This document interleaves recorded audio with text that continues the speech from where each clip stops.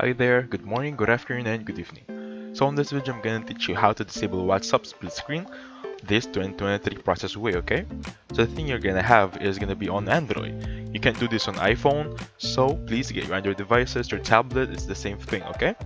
So of course, go open WhatsApp right there, and I want you to click settings on the top three lines right there. Go to settings very quickly, and then look for chats options. So it should be chats option right there, okay? Once you open chats right here, you should see side-by-side -side option.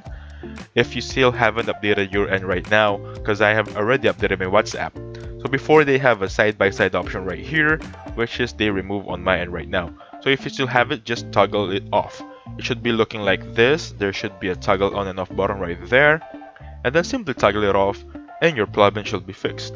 Now let's say um, for um, so for some reason you don't have that option don't be uh, afraid. I can help you still. Just go to settings right here.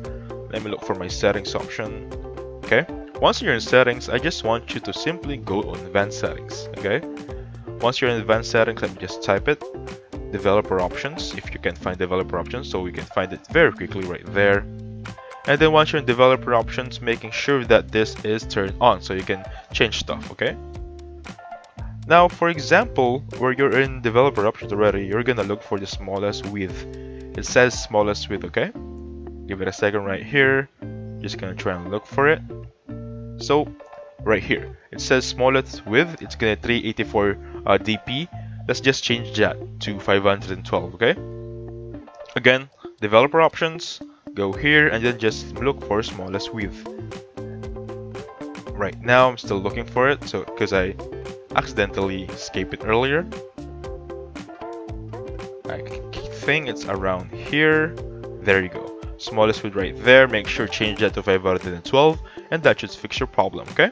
So thank you so much for um, watching. Please hit the like button, subscribe, and I'll catch you on the next one, guys. Have a safe one.